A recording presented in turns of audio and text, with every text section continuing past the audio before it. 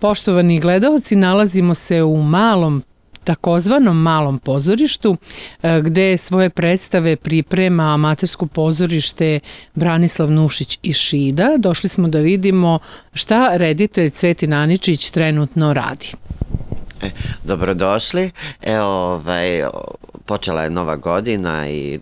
samim tim i neke nove ideje dolaze. E, mi ono što ove godine planiramo to je malo da ovaj e, produžimo predstavu e, jedno slovo, jedan znak koja je učestvovala na festivalu monodrame na Zmejim dečim igrama i to je festival male forme za decu gde otprilike ta monodrama treba da traje do nekih 12 minuta i znači ćemo mi od tih 12 minuta napraviti celu predstavu za klince. E, to je ovaj, Vuk Stefanović Karadžić i njegova azbuka za decu do četvrtog razreda, e, kako je Vuk uradio reformu, komu je sve pomogao, komu nije pomogao, sa kim je sarađivao i tako da će se klinci e, do tog, naš, znate, do nekih deset godina upoznati sa celom tom našom istorijskom pričom. I vrlo je zanimljiva, edukativna je i ja se iskreno nadam da će kroz e, ovu predstavu i doći do nekih rešenja kako najlakše naučiti azbuku na pamet.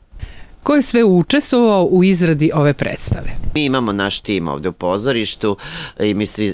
sve zajedno radimo, e, tako da ovaj, izrađujemo zajedno i lutke i ovaj, ovo je u stvari kao jedna vrsta mog autorskog rada što se tiče samog teksta, režije, glume i, i same lutke, ali to su radili i Ilijano Orešćanin, Marko Ganibegović, Aleksandar Ganibegović, Luka Jašćur, e, Elena Bilkan, Nektarija Jagodić, Srnaničić, tako da smo mi svi zajedno ovaj, radili na realizaciji ove predstave, neko je oslikavao scenografiju, neko je šio kostime i vrlo je bilo onako zanimljivo raditi. Ono što je meni isto jako bitno, to je da smo ostali zapaženi na festivalu monodrame, e, da je vrlo jedna tema koja je potrebna u ovo doba i da je, ja se iskreno nadam već eto u februaru da ćemo igrati po našim školama, naše opštine za decu eto do četvrtog razreda.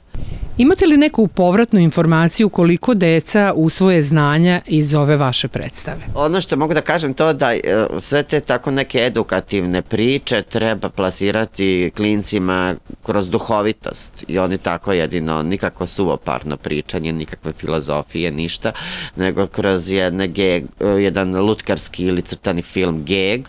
i kroz duhovitu priču, vrlo direktnu s njima da vas oni prate, slušaju, da učestvuju u predstavi, da oni budu isto jedna vrsta aktera, tako da onda oni nešto i ishvate, ali ipak je malo tih pola sata, 45 minuta da deca potpuno 100% prihvate sve što im se nudi u predstavi, ali ako ostane bar 40-50% mi smo zadovoljni i posle ove odigrane monodrame u pozorištu mladih na festivalu, posle razgovora, evo, e, e, ljudi iz mojih dečih igara posle svake predstave su vodili razgovor sa publikom, odnosno sa decom, e, došli smo do saznanja da su deca zaista shvatila predstavu i da su uživala u njoj i da su dali onako pozitivne ocene, tako da smo uspeli. Hvala vam na razgovor. Hvala vam.